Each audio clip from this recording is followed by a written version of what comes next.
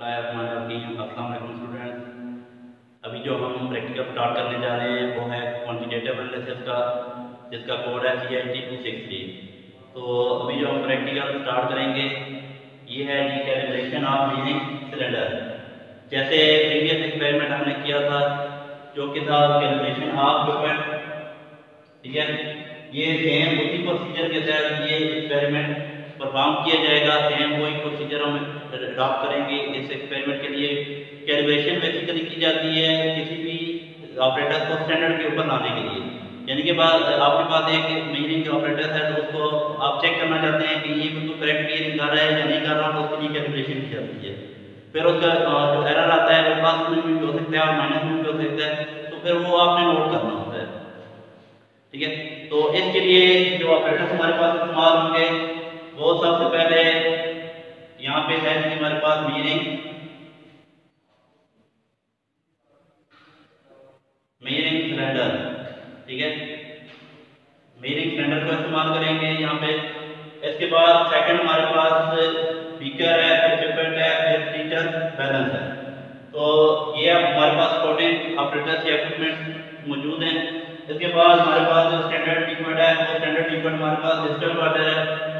Distil water کو اس لیے استعمال کیا جاتا ہے کہ اس کی density one gram per ML L ہوتی ہے یا سینٹی میٹر کیوب ہوتی ہے one gram per M L اور one gram per centimetre cube تو اس کو اسٹینڈرڈ کے طور پہ آپ استعمال کر سکتے ہیں ٹھیک ہے اس کے بعد according to observation and completion ہم نے چلنا ہے آبزرویشن یہ اس ٹیبل کو ہم فالو کریں گے ساتھ ساتھ فالو کرتے رہیں گے اور ساتھ ساتھ پروسیجر کو کرتے رہیں گے تاکہ جو بھی ہمارے پاس ریٹنگ آتی رہیں گی وہ ہم اس ٹیبل میں فل اپ کرتے رہیں گے تو سب سے پہلے ہمیں کیا کرنا ہوتا ہے؟ ویٹ آف ایمٹی بیکر نکالنا ہے۔ آپ کے پاس جو بیکر آپ نے دیا ہوا ہے اس ایمٹی بیکر کا ویٹ آپ نکال لینا ہے۔ پھر اس کے بعد weight of beaker plus water تو weight of beaker plus water کون سا ہوتا ہے؟ واٹر جو، وہ والا واٹر ہے جو آپ نے میری سلنڈر کے اندر فل اپ کیا ہے، ٹھیک ہے؟ میری سلنڈر کے اندر آپ نے بھرا ہے۔ پانی پہ ہنڈریڈ ایم ایل تک یا جتنے کیپیسٹی کا آپ میری سلنڈر استعمال کر رہے ہیں، تو ہنڈریڈ ایم ایل تک کرنے کے بعد اس کو ڈیڑھ دینا ہے آپ نے بیکر کے اندر۔ وہ سارا پانی آپ نے بیکر کے اندر ڈال دیا۔ پھر اس بیکر کا آپ نے ویٹ کرنا ہے، جس کے اندر پانی موجود ہے۔ یعنی کہ weight of beaker plus water جس کو آپ نے بی سے شو کیا پھر اس کے بعد نیکسٹ ہمارے پاس weight of water weight of water کے کیسے نکالیں گے؟ یعنی کہ بی کے اندر سے ایک مائنس کریں گے، جب ہمارے پاس جو ویلیو آئے گی، وہ ہم نے یہاں پہ لکھ دیں گے۔ بی مائنس ایک کر دیں گے۔ ٹھیک ہے؟ اس کے بعد نیکسٹ ہمارے پاس یہاں پہ آ گیا ویٹ آف واٹر تو ہمارے پاس آ گیا. پھر ہم نے نکالنا ہے والیوم آف واٹر اب والیوم آف واٹر کیسے نکالیں گے؟ ٹھیک ہے؟ ایک فارمولا استعمال کریں گے یہاں پہ ڈینسٹی کا. اس کے ذریعے آپ جو ہے نا ویٹ آف والیوم کو ویٹ آف واٹر کو والیوم آف واٹر کے اندر کنورٹ کریں گے. تو آتے ہیں فارمولا کے اوپر. تو یہ ہے ہمارے پاس ڈینسٹی کا formula density is equal to mass over volume تھوڑا سا اس کو رینج کریں گے جب. تو والیوم آف واٹر ایک سائڈ لے جائیں گے تو ہو جائے گا equal to mass over density تو ڈینسٹی جو ہوتی ہے، یہ ڈسٹل واٹر کی ہے one gram per M L ہوتی ہے۔ یا پھر اس کو آپ one gram per centimetre cube بھی کہہ سکتے ہیں۔ تو one gram per M L اور one centi one gram per اور سینٹی میٹر کیوب بھی ہو سکتی ہے۔ تو آپ اس فارمولے کو جب ارینج کریں گے اپلائی کریں گے، تو آپ کے پاس والیوم آف واٹر بھی نکل آئے گا۔ ٹھیک ہے؟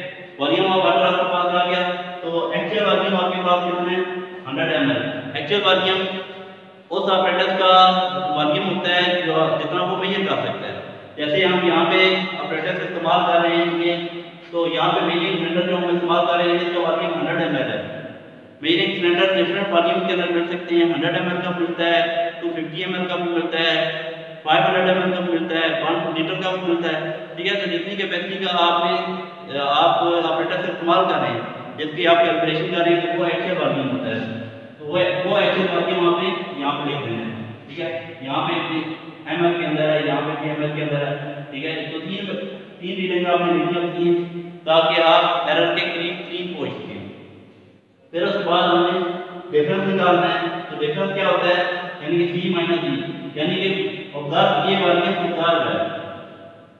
یہ عبدار ویلیو ہے، تو عبدار والیوم کے اندر سے جو ایکچوئل والیوم ہے اس کو مائنس کریں گے، تو ہمارے پاس جو یہاں پہ آپ نے لینا ہے۔ یہ میں بھی ہو سکتا ہے اور مائنس میں بھی ہو سکتا ہے۔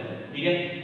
اور مائنس یہ پھر کنڈیشن آپ نے اس کو جو ہے نا، آپ نے اس آپریٹر کے اوپر مینشن کر لینا ہے کہ یہ زیادہ بتا رہا ہے یا پھر کم بتا رہا ہے۔ ٹھیک ہے؟ اتنا آپ نے مینشن کر تو آتے ہیں میل کے اوپر۔ تو میری ایک فلٹر، جیسے آپ نے مکیت کے اندر بہت زیادہ استعمال بھی کی ہیں ڈیب کے اندر۔ آپ نے ایک بریفلی انٹروڈکشن ان کا کیا ہوا ہے فلٹرس کا۔ تو میری فلٹر ایک سلنڈر ٹائپ جو ہے نا، ایک چیز ہوتی ہے جس کے اوپر مارک موجود ہوتے ہیں ڈیفرنٹ جو ہے نا اہم ٹھیک ہے؟ آئی ہوپ کہ آپ کو یہ ایکسپیریمنٹ سمجھ آیا ہوگا۔ انشاءاللہ نیکسٹ ایکسپیریمنٹ کے ساتھ پیرا کروں گے تب تک کے لیے خدا حافظ۔